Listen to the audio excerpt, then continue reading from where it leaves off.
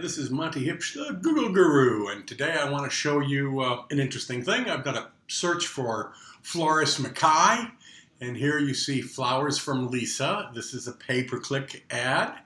Uh, here you see the snack pack, the new seven pack that's been reduced down to three, and you see um, flowers from Lisa here, and you also see flowers from Lisa down here as an organic listing. So that's three times on the front page of Google uh, for a single search. That's the holy grail of, of search results, that you're there three times because 1 plus 1 doesn't equal 2, it equals 3.1, and 1 plus 1 plus 1 doesn't equal 3, it equals 9x because you've pushed two of your competitors off the page. So if you can be there three times organically and in the maps and in pay-per-click, you are killing it. So let's talk a little bit about SEO. We do what we call SEO audits and reports for people. And, and this is an example. We're doing it for a client out of Darwin that does solar energy activities. And um, this 36 page report shows you how the site looks on a desktop, that it's already mobile friendly. These are just some of the elements that we do. Um, you'll see that we, we analyze both off-site SEO and we score it, and on-site uh, local SEO, search rankings organic, local rankings average, Google Plus. Um, there's a whole range of activities. We have detailed analysis that explains what each of these things are and the tools that we're using, numbers of links. Um, we also look at uh, uh, how well you currently rank for key phrases. This shows that they're outside the top 50, which means you're past page four or five. Nobody's going to go there.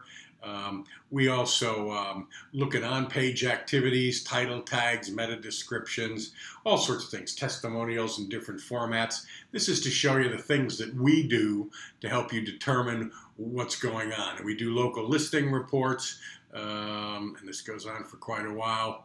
Um, and then it's worth noting that we then analyze uh, competitors. So we say, how are your competitors doing, and what are they? Are they are they listed in different areas, and how are they ranking?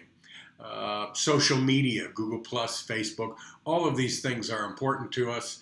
And then we actually do a detailed analysis on the top 100 pages to see if they're structured correctly. And so, why do we do these SEO reports? Well, it's really quite simple. They're 100% free. It does two things it benchmarks uh, how well the company is doing and whether we have the capacity to significantly increase their performance, like we've done with Lisa, so she's on the front page three times.